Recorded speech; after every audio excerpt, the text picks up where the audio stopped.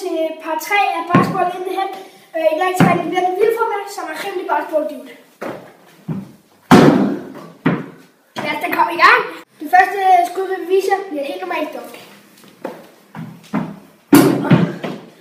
Slam dunk, dunk.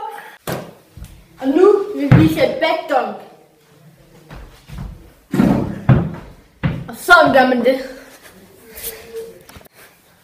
Nu vil vi normalt langskud. Ja. Yeah. Nu er det tid til freestyling med musik.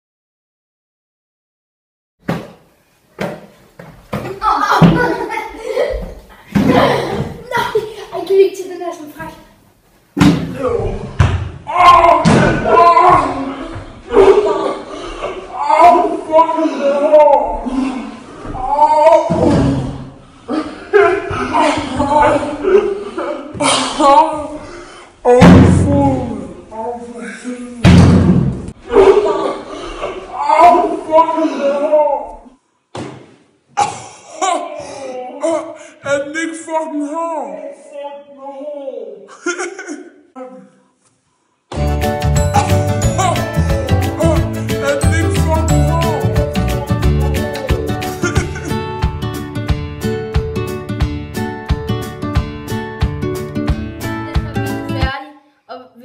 6 like, så får, så får I en part 4.